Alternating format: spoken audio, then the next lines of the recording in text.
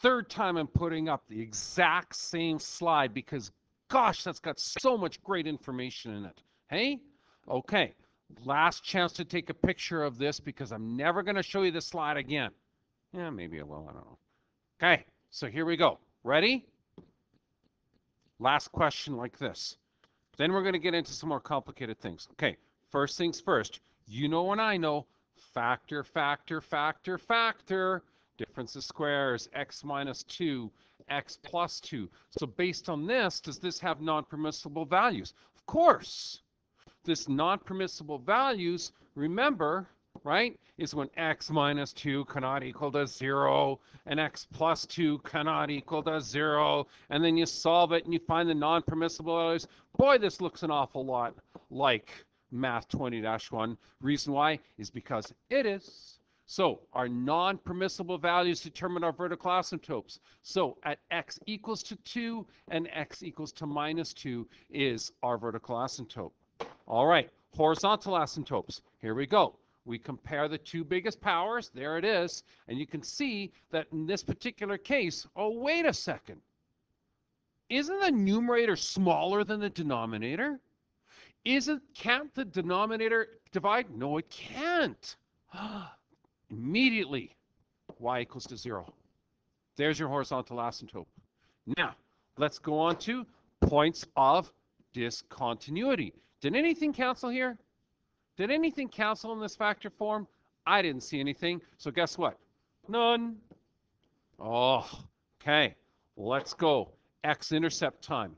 Okay, let me clean this up and start it again. Remember the factored form. 2x over x minus 2, x plus 2. Remember, this equals to 0 when an x-intercept happens, y equals to 0 over 1.